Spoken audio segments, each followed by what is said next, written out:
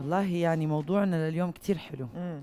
ومستوحى من شموخ وقوة وإيمان وصمود أهالي غزة وإصرارهم على حب الحياة.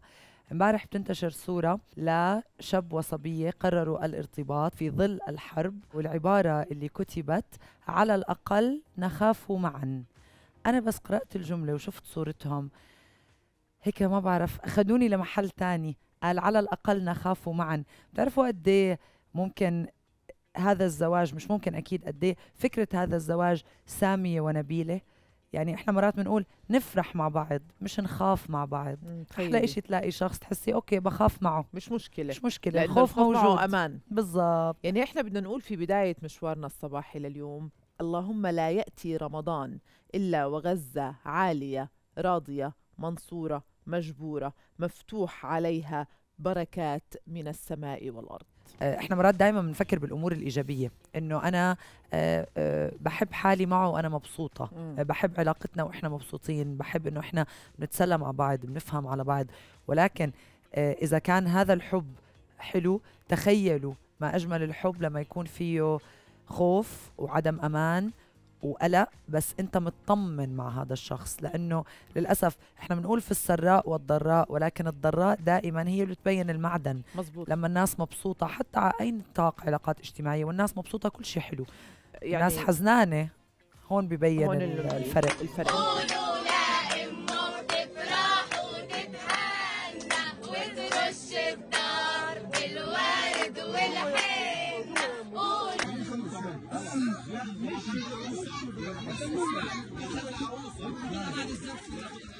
حتى نخاف معا.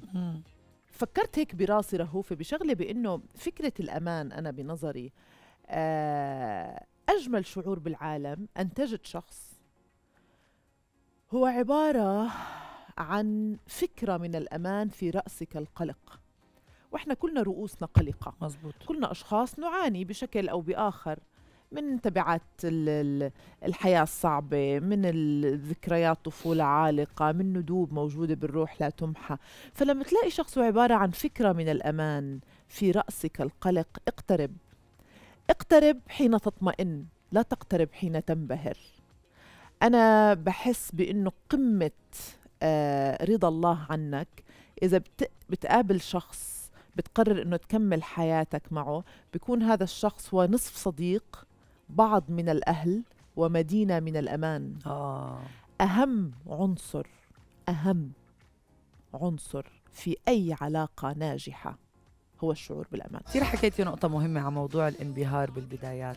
إحنا دائما نقع في هذا الفخ إنه إحنا بننبهر آه، ببداية الحب وبنشوة الحب ال- المطلقة. ولكن آه، بعد فترة بنبدأ نحس ببعض المشاعر السلبية. طبعا إن شاء الله أنت تنبهر بالبدايات وتضلك منبهر طيلة آه، خلينا نقول هالمسيرة وهالعلاقة ولكن النفس البشرية تعتاد فأنت بالأول بتنبهر بعدين بتتعود. وال وال والأهم إنه أنت لازم تكون متاجر بالأمان.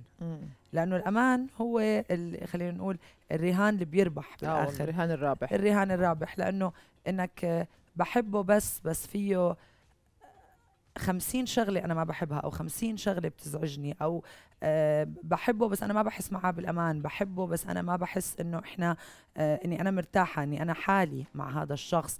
هون بتبدأ المشاكل آه، تكبر. والفكرة إنه إحنا مرات بنطنش وبنمشي. وبعدين بتوقع الفاس, الفاس بالراس, بالراس. للأسف. شوفي رهوفة بعيدا عن العلاقات العاطفية أكثر أشخاص بيفتقدوا الأمان هم البنات المغتربات. مم. البنت لما تكون مغتربة بدافع زواج بدافع دراسة كذا كذا تفتقد إلى الأمان لأنه بالنسبة لنا النموذج الأولي للأمان هو الأب والأم. مزبوط مرة بنت تغربت تجوزت وتغربت ويعني عاشت سنين صعبة. بعثت رسالة لأبوها. قالت له أحتاج أن أرتمي بأحضانك. لا أريد سماع صوتك الهادئ.